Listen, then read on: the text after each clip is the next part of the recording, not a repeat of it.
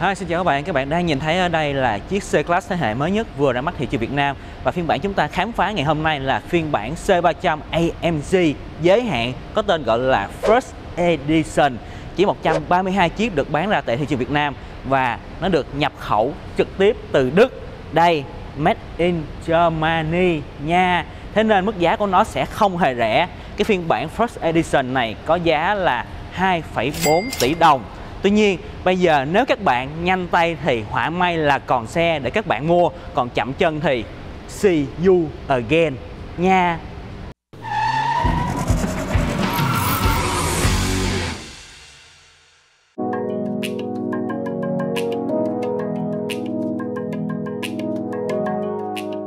Trường hợp mà các bạn chưa kịp mua C-Class thế hệ mới, cái phiên bản First Edition này thì cũng đừng vội buồn bởi vì các bạn vẫn có cơ hội mua được C-Class thế hệ mới nhưng mà dưới 3 phiên bản lắp ráp trong nước CKD có tên gọi là C200 Avantgarde, C200 Avantgarde Plus và C300 AMG chỉ là không có chữ First Edition nữa mà thôi thì cái mức giá của ba phiên bản lắp ráp trong nước sẽ hấp dẫn, dễ tiếp cận hơn rất nhiều so với cái phiên bản nhập khẩu từ đất này.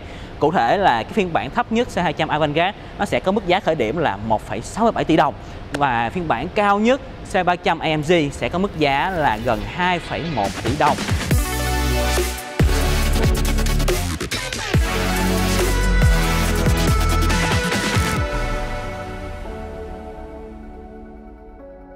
Thiết kế ngoại hình của C-Class thế hệ mới có thể nói là quá đẹp các bạn à, hết nước chấm luôn. Nhìn ngoài thực tế mình chỉ biết nói là sao mình thấy si mê em nó nhiều quá. Tuyệt vời. Và cái màu sơn mà các bạn đang thấy ở đây là cái màu sơn có tên gọi Spectre Blue. Nó là cái màu sơn chỉ có trên phiên bản First Edition nhập khẩu nha. Còn những phiên bản C-Class thế hệ mới lắp ráp trong nước sau này không có tùy chọn màu sơn này. Đấy. Và cái logo Mercedes-Benz ở đây từ lâu đã quá quen thuộc bởi vì nó cho thấy cái sự uy tín của chủ xe cũng như là dễ vào việc. Tuy nhiên, trên chiếc C300 First Edition này các bạn thử nhìn vào cái lưới tản nhiệt của nó mà xem có một rừng, những cái logo ngôi sao ba cánh nhỏ, càng tăng thêm độ uy tín của chủ nhân. Cái điểm ấn tượng nhất của phần đầu chiếc C300 AMG First Edition này nằm ở cụm đèn trước có công nghệ Digital Light tiên tiến nhất của Merc. Và nếu mình nhớ không lầm thì C-Class hệ mới cũng là chiếc xe Mạc đầu tiên tại Việt Nam có cái công nghệ đèn Digital Light này Tuy nhiên, trong cái clip ngày hôm nay thì mình không có được trải nghiệm thực tế chiếc C-Class thế hệ mới, thế nên là mình sẽ không nói quá nhiều về cái công nghệ đèn Digital Light, mà mình sẽ để dành ở một cái clip về sau. Khi mà mình được đánh giá thực tế chiếc C-Class thế hệ mới thì mình sẽ chia sẻ nhiều hơn về cái công nghệ đèn tiên tiến nhất của mẹ hiện nay. Rất rất là kinh khủng nha các bạn. Ok, bây giờ thì mời các bạn xem cái dáng xe của C-Class thế hệ mới. Rất là kiêu sa, nuột nà. Rồi, ở phần thân xe thì cái điểm mà mình thích nhất có lẽ là phần mâm. 19 inch của phiên bản C300 AMG First Edition nhập khẩu từ Đức. Thì những cái phiên bản C-Class thế hệ mới lắp ráp trong nước sẽ không có kích thước mâm 19 inch như là cái phiên bản nhập khẩu mà các bạn đang thấy ở đây nha. Mà theo như mình được hé lộ, được biết á, thì những cái phiên bản C-Class thế hệ mới lắp ráp về sau này thì kích thước mâm lớn nhất chỉ là 18 inch mà thôi. Và trên cái phiên bản C300 First Edition nó được trang bị bộ lớp hàng hiệu Pirelli. Ồ, với cái hông lớp rất đẹp nha. Thì cái hông lớp này nó càng khoe được cái vẻ đẹp của bộ mâm 19 inch theo xe luôn. Thông số lớp là 225 40 R19 nếu mà tính ra thì cái hông lớp của chiếc C300 AMG này nó sẽ cao đâu đó khoảng 90mm nếu mình nhớ không lầm. Thì với cái thông số hông lớp như thế này có lẽ là hơi mạo hiểm khi mà chạy trên đường Việt Nam. Có nghĩa là các bạn cần phải đi xe nắng nót để bảo toàn được cái vẻ đẹp của bộ mâm 19 inch khá là to. Nếu các bạn nhìn kỹ vào bên trong nữa thì các bạn sẽ thấy là chiếc C300 AMG First Edition này nó được trang bị hệ thống phanh hiệu năng cao của mẹ với cái cần phanh to và đĩa đục lỗ. Xịn chưa? Rồi, tiếp theo. Hơi tiếc là cái phiên bản C300 AMG này á kính trước của nó chưa phải là kính hai lớp.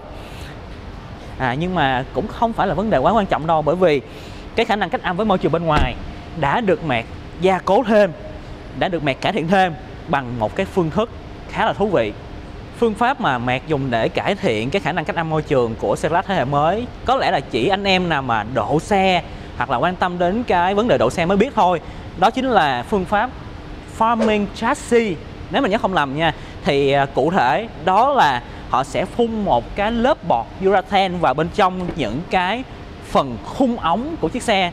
Cái phần khung xe chính à thì chính những cái lớp bọt urethane này nó vừa gia cố cho khung xe thêm vững chắc và đồng thời là nó cải thiện thêm cái khả năng cách âm của chiếc xe luôn. Đó, đây là cái phương pháp rất rất là hay và tin vui với những cái phiên bản C-Class thế hệ mới lắp ráp trong nước vào thời gian tới cũng sẽ được Mercedes-Benz Việt Nam ứng dụng công nghệ chassis farming này. Số giá luôn, tuyệt vời. Rồi, ra phía sau, ra phía sau. Đây, cho các bạn ngắm phần đuôi của em nó. Tiếp tục thấy si mê chưa? Quá đẹp. Và cái cụm đèn hậu của C-Class thế hệ mới, mình thấy là nó rất giống cụm đèn hậu của chiếc S-Class thế hệ mới mà mình mới vừa được test nếu mà nhìn từ xa thì có lẽ dễ nhầm lẫn giữa đuôi C-Class mới với lại đuôi của S-Class. Và nó không ngoa thì phần đuôi của C-Class thế hệ mới trông giống như là một chiếc S-Class thu nhỏ vậy.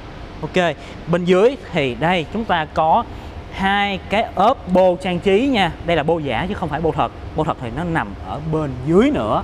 À thôi không sao. Đây là cái chi tiết uh, sống ảo một tí nhưng mà thời buổi sống ảo mà có còn hơn không? Dù sao thì nó cũng làm cho cái phần đuôi xe trong thể thao hơn, trong xì bo hơn. Cốp xe đây, đóng mở điện nha. Ngon lành luôn. Đóng lại cho các bạn xem nè. Đó, rõ ràng ha. Uy tín. Bên trong thì chúng ta có một cái không gian cốp. Vừa đủ rộng, vừa đủ rộng. Và đặc biệt là hai bên chúng ta có những cái nút để mà gặp nhanh hàng ghế sau. Đó. Bên dưới thì chúng ta sẽ có một cái học đồ nho nhỏ, chứ không có bánh sơ cua. Rồi, thôi bây giờ chúng ta sẽ vào hàng ghế sau của xe class thế hệ mới để xem là nó có gì mới hay không.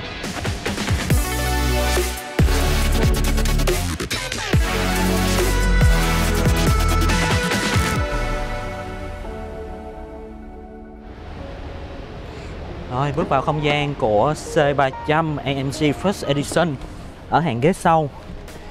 Đó, không gian đầu cũng được, có vẻ tốt hơn đời trước một tí. Không gian để chân, đây. Các bạn xem. Dư được hai cái nắm tay. À, thì cái ghế trước mình đã chỉnh sao cho mình ngồi thoải mái rồi đó. Nói chung là không gian như thế này thì cũng chấp nhận được với một cái mẫu xe cao cấp cỡ nhỏ như là C-Class thế hệ mới độ ngã lưng thì mình thấy là cũng khá dễ chịu, không phải là ngã quá nhiều, nhưng mà như thế này là cũng đủ thoải mái. Về cái mặt trang bị tiện nghi ở hàng ghế sau thì à, mình thấy là chúng ta có cái rèm che nắng hai bên và thậm chí là phía sau cũng có rèm che nắng điều khiển điện luôn. Có cửa gió điều hòa phục vụ riêng, nhưng mà lại không có điều chỉnh cái nhiệt độ cho cái vùng phía sau. Bệ tì tay kim chỗ để ly có một điều hơi khó hiểu ở đây đó là năm 2022 rồi mà sao Mạc vẫn chưa trang bị cái cổng sạc thiết bị di động cho hàng ghế sau của xe class thế hệ mới. Đây là cái chi tiết thiếu sót không đáng có và mình nghĩ là Mạc nên sớm bổ sung cái tính năng này cho xe class thế hệ mới, đặc biệt là các bạn lắp ráp trong nước. Mình không muốn phải khen chiếc xe class thế hệ mới này tiếp nữa đâu nhưng mà khi bước vào bên trong cái khoang nội thất của chiếc xe class này thì mình đành phải thốt lên là nó lại đỉnh các bạn à cảm giác nó giống như là cái khoang nội thất thu nhỏ của chiếc S-Class thế hệ mới mà mình mới vừa test hồi tháng rồi. Nếu như khi mình bước vào trong nội thất của chiếc S-Class đó mình thấy nó giống như một cái lao di động, thì với chiếc C-Class thế hệ mới này, nội thất của nó giống như là một cái lao di động mini, phiên bản mini. À các bạn thấy cái phần đèn nội thất ở đây không? Làm rất chuẩn, rất đẹp.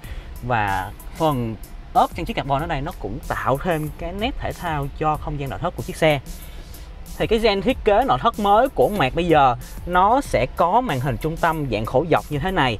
Và kích thước của nó là 11,9 inch nếu mình nhớ không lầm nha. Ờ, và hệ thống giải trí thông tin của chiếc xe thế hệ mới này nó là cái thế hệ MBUX thứ hai. Mọi thứ cái trải nghiệm của nó bây giờ nó tinh giản hơn rất nhiều nó y chang như việc chúng ta sử dụng máy tính bảng vậy. Chúng ta cũng có cái phần menu nhanh kéo từ trên xuống nó và nó dễ sử dụng hơn cái hệ thống MBUX trước đây của mẹ đáng kể luôn các bạn à. Đây, cái menu của nó thấy không? Rất là trực quan, cực kỳ thân thiện. Phần điều hòa thì chúng ta cũng điều khiển trên cái màn hình này luôn. Cảm ứng hết, cảm ứng hết các bạn à. À đây, mình sẽ bật camera 360 độ trên chiếc xe này để cho các bạn xem nếu mình nhớ không lầm thì chất lượng hiển thị của camera 360 độ trên C-Class nó không chi tiết, không nét bằng trên chiếc S-Class, nhưng mà nó vẫn có cái phần hiển thị 360 độ 3D à rất là nuột luôn. Đấy. Và bên cạnh đó, hình như là nó cũng có tính năng hỗ trợ đậu xe tự động. Rồi. Có bao nhiêu chế độ lái đây? 5 chế độ lái economy tiết kiệm nè. Comfort thoải mái, sport thể thao, sport plus thể thao hơn. Và một chế độ individual, tức nghĩa là chúng ta sẽ, cá nhân hóa theo ý của mình. Trên phiên bản C300 AMG First Edition này thì mình không thấy có cái phần tùy chọn hệ thống treo adaptive. Theo cái chế độ lái, thì à, như vậy, rõ ràng là cái phiên bản C300 AMG này nó không có hệ thống treo thích ứng điều chỉnh được cái mức damper cứng mềm theo cái chế độ lái của chiếc xe. À thì thật ra cái chi tiết này cũng không phải là vấn đề gì quá quan trọng. Không có hệ thống treo adaptive thì khi mà chúng ta thay thế hệ thống treo á sẽ đỡ tốn tiền. Vậy thôi. Về cơ bản thì hệ thống treo của phiên bản C300 AMG và C200 thế hệ mới nó sẽ giống nhau là hệ thống treo Agility Control nghiêng về hướng thoải mái, êm ái. Chứ nó không có phải là cái hệ thống treo thể thao giống như là những cái phiên bản C300 AMG trước đây thế hệ trước đây. Đó hệ thống giải trí thông tin của xe class thế hệ mới, nó vẫn có cái Apple CarPlay và Android Auto. Nhưng bây giờ, nó là Apple CarPlay và Android Auto không dây nha các bạn. Tuyệt vời luôn. Đó. Rồi, có một điểm hơi tiếc ở cái phần giải trí trên xe class thế hệ mới và đặc biệt là trên cái phiên bản C300 AMG đó là không còn cái option loa Bumpmaster nữa, mà loa trên cái phiên bản C300 AMG nhập khẩu này chỉ là loa thường thôi. Tuy nhiên, cái chất lượng loa thì hồi nãy mình có nghe thử, nghe cũng khá ổn chứ không phải là quá là bình thường đâu nha các bạn. Tiếp theo, cái phần trang bị tiện nghi ở hàng ghế trước của xe quá thế hệ mới trên phiên bản C300 AMG này chúng ta có. Cửa sổ trời toàn cảnh nè, điều khiển bằng cách vuốt nhẹ. Rất rất là tinh tế, rất tinh tế. Còn ở bên dưới thì chúng ta sẽ có một cái hốc sạc không dây cho thiết bị di động. Về nhu cầu đáp ứng năng lượng ở hàng ghế trước trên xe class thế hệ mới thì mình thấy nó ngược với hàng ghế sau, tức nghĩa là nó đáp ứng vượt mong đợi của mình. Ở phía trước thì nó có ba cổng sạc USB-C luôn các bạn à. Một cái ở đây và hai cái trong cái học đồ này, cùng với lại một cái cổng sạc mồi thuốc ở đây hai cái ghế trước của phiên bản C300 AMG này là ghế thể thao nha. Thế nên là nó có cái phần support hỗ trợ hai bên hông á nó nhiều hơn và cảm giác ngồi nó cũng ôm người hơn. Tuy nhiên nếu cái chất da ghế này nó mềm hơn nữa thì mình sẽ ưng hơn. Đấy ở đây thì à, nó sẽ chỉnh điện hết nha. Chỉnh điện hết cả phần đầu luôn nè. Và chúng ta có nhớ ba vị trí thiết kế vô lăng của phiên bản C300 AMG này là thiết kế thể thao với cái góc vát bên dưới nè. Ở trên vô lăng thì mình thấy là nó có cụm tính năng kiểm soát hành trình và hình như là không có kiểm soát hành trình thích ứng. Tuy nhiên, các bạn vẫn có thể retrofit bổ sung thêm cái tính năng này ở các dịch vụ bên ngoài. Không vấn đề gì hết. Và đây cái bản đồng hồ tốc độ của phiên bản C300 AMG là hiển thị điện tử hoàn toàn. Có thể tùy chọn được nhiều cái chủ đề hiển thị khác nhau nhẹ nhàng, thể thao, truyền thống. Đó, ngon lành ngon lành luôn các bạn à. Về hệ thống đèn, gạt mưa thì dĩ nhiên trên xe Class thế hệ mới nó đều tự động hết các bạn à. Nói chung là những cái trang bị tiện nghi là vặt như thế này, trên xe class không thể nào thiếu được. Bây giờ thì mình sẽ nói đến cái phần hệ truyền động của chiếc xe đi.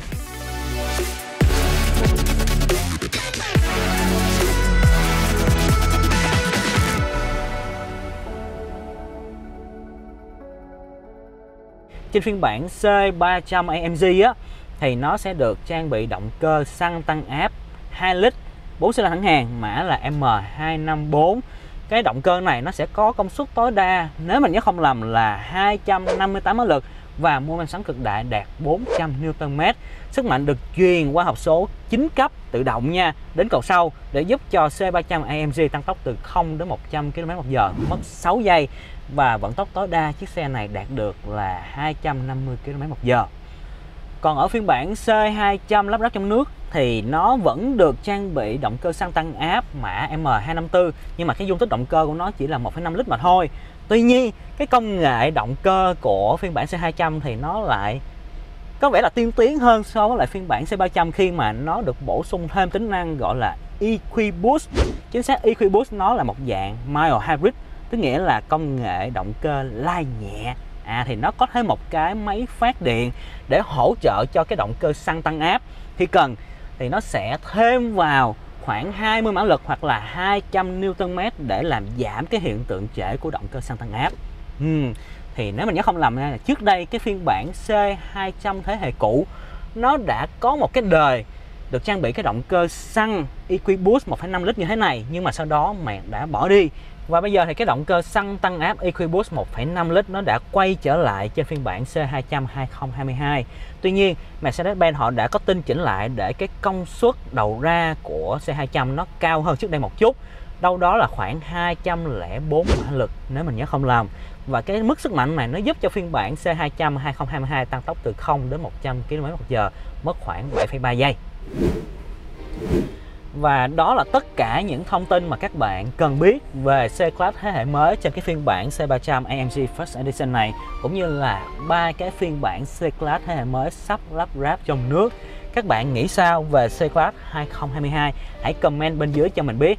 Chứ mình sau khi được xem thực tế chi tiết cái C-Class thế hệ mới thì bây giờ mình thấy si mê em nó quá các bạn à. Quá đẹp, quá nhiều tính năng. Ok, rồi xin cảm ơn.